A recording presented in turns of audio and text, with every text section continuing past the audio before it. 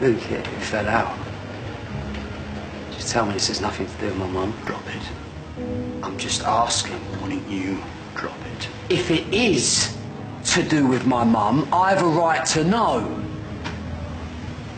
Answer me! Don't you ever use that tone with me! Ever!